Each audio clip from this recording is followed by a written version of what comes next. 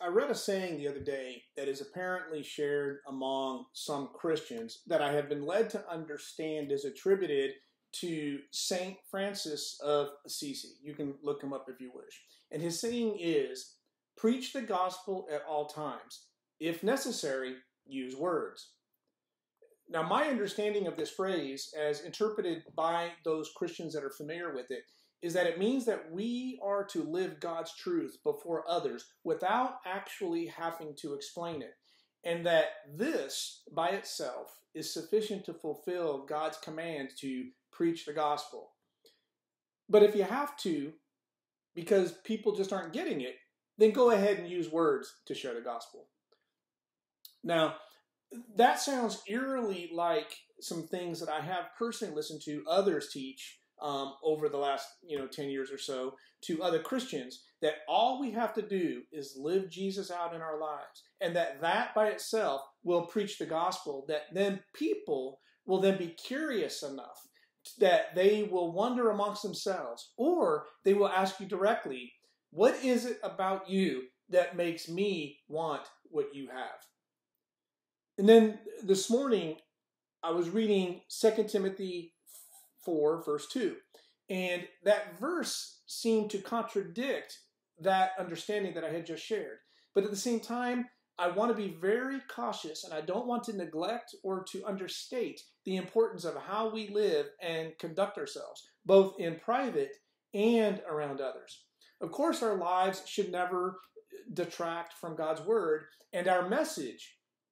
Indeed, the Christian is called to live in such a way that makes the gospel attractive as we are reminded in Titus 2:10 where we are told to show that they meaning we as Christians can be fully trusted so that in every way they meaning we as Christians will make the teaching about God our savior attractive.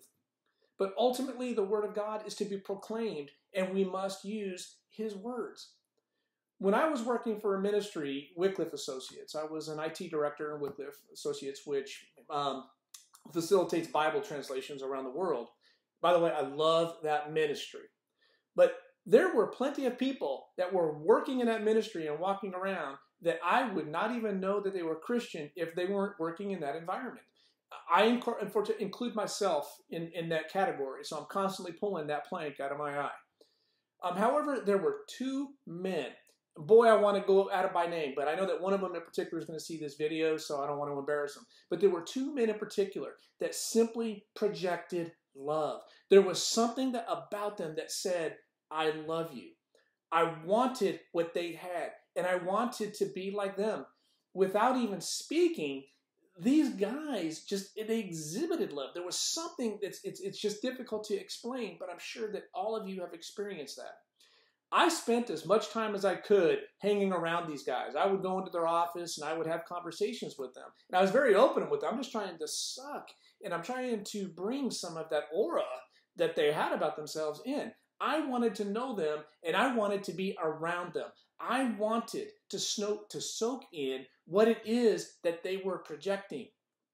What these two men had to share with me is in complete alignment, it's in sync with how they carried themselves in their character and their behavior. That aura that they projected that was easily sensed and I, you could feel it around them. They didn't have to say anything. It was amazing. But yet it also caused me to wonder what is wrong with me? These laying these, these subtle seeds of doubt in my head. Why can't I be like them? Why can't I present myself in a way that people can simply feel the love that I have for the body? It's not that I was jealous. I wasn't jealous, and you know, there wasn't any pride in there. But I suppose that there was a lot of envy because I knew that without a doubt that this is what Christ wants for us all, and I did not feel that I had it. So after leaving in Wycliffe Associates in 2018, I can honestly say that I really miss these two guys more than any others at that organization. It's not to downplay the others and, and, and, and the gifts that they're sharing in that ministry, but I really miss those two guys. I have been around a lot of people. I've got a 20 year military career. I've been around a lot of great military leaders, super charismatic. There are people that I've been around in my non Christian life and my Christian life that I completely trust But that is different than what I'm talking about with these two guys at Wycliffe. I don't want to downgrade what other people have as far as their anointing is concerned, um, as we are all different. But I can honestly say that I have never been around other men like those two guys. So as I read through 2 Timothy chapter 4, those two men were immediately illumined on my heart and in my mind this morning. And then I remembered that phrase about uh, how we conduct ourselves, and then that's not good enough. These guys did preach the word as Paul tells us, but they were also living it, at least when I was around them anyway. So, so in the meantime, what to do? So I've decided that the path for me is to continue to immerse myself in his word. That I'm going to continue to bare my heart and I'm going to continue to talk with others. So when people engage with me, it is very apparent that I have a lot of passion. Uh, there's a lot in my heart, even if they are perhaps taken a little aback. You know, they, they back off a little bit because I'm very ver- verbose and I talk very fast, which is why I don't like doing videos um, or even podcasts for that matter. But but what I can say is that with complete sincerity, that it that I have never felt alive. I don't feel as alive as I do when I'm sharing my heart about Jesus, about the gospel with others. I feel alive right now talking to this camera than I do when I'm not. So I don't know how I feel about the thought about me preaching as the scriptures always discuss, as I'm not a pastor. But I am very comfortable with the thought of sharing what the scripture illumines to me, even if it is very pointed and directed. I will always use myself as an example because I am a very flawed human being and I have 40 years of significant flaws of living in sin and, and blasphemy uh, prior to, to, to me coming to Christ. Um, see, I got my notes. This is why I don't like doing videos. Um, but anyway, so I was talking about that. That, that I just I, the, the, thought of me saying preaching is something that that um, is is difficult for me to think about because I'm not a pastor. But as we learn to share the gospel, at a minimum, it is okay that we, as His disciples, practice, isn't it? So not practicing the action of talking. That's not what I'm talking about. So yes, I'm practicing and how I'm doing a video right now. I'm practicing um, kind of how I share what's on my script right below this camera here, um, and to, to maybe get off track a little bit. But um, no, I'm talking about the practicing, the, the practice to listen, to listening for what the Holy Spirit is telling you.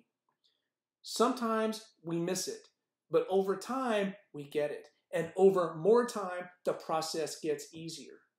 This is very similar to what they teach regarding the, the gift of prophecy. If any of you have been to to to schools of prophecy or maybe you've been to sessions about prophecy they encourage you practicing your gift of prophecy so that you can properly discern words of knowledge or you know discernment about a future action or something that's happening in something's life. You, you know so you only learn to develop your gift of prophecy as you practice it. So the same thing as we sit here and talk about the gospel as we share the gospel we get better at it the more that we practice.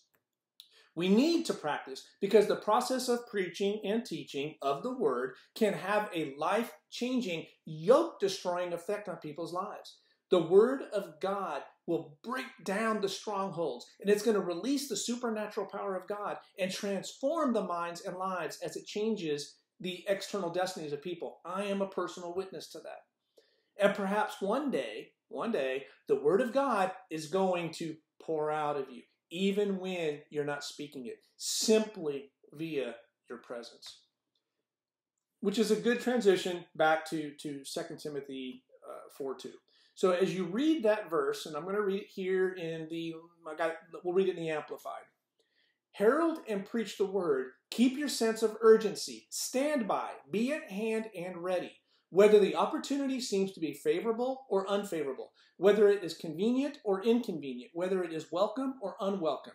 You, as preacher of the word, are to show people in what way their lives are wrong and convince them, rebuking and correcting, warning and urging, and encouraging them, being unflagging and inexhaustible in patience and teaching. So, as I again, that was the amplified. You know, I don't know what what, what Charles' preferred translation is, but I kind of like the amplified um, emphasis in some areas. Um, so so anyway, so as we as we read that verse, we may tend to believe that this is only applicable to the pulpit, but that is not what Paul says. As I had alluded to earlier, the word preach from the original Greek means to publish or to proclaim openly. So when Paul tells Timothy to preach the word, the idea of a formal setting behind a pulpit or in a church service, it's not there. That's not what he says. Nor does it connote a certain style of speech. It doesn't say preaching versus teaching versus normal conversation. So in the context of 2 Timothy, any presentation of the truth of God's word is preaching. Any of it. Therefore, any Christian can and should do this. So I guess I should take back my original discomfort of me in that action of preaching. Uh, perhaps some of you should as, as well. Uh, so the word can be proclaimed in books. So, so some of you know that I've written one book and published, and I've got two more that I'm in the middle of writing now. Um, it can be in magazine articles. It can be in an email. Uh, I'm not a fan of bumper sticker memes, but the word can be proclaimed through Facebook posts and tweets. The word can be proclaimed through music and visual arts. It can be proclaimed by a get well card to a sick friend. The word can be proclaimed by men, women, and children of every age in any station in life. And yes, the word can and should be proclaimed when the church gathers together for corporate worship.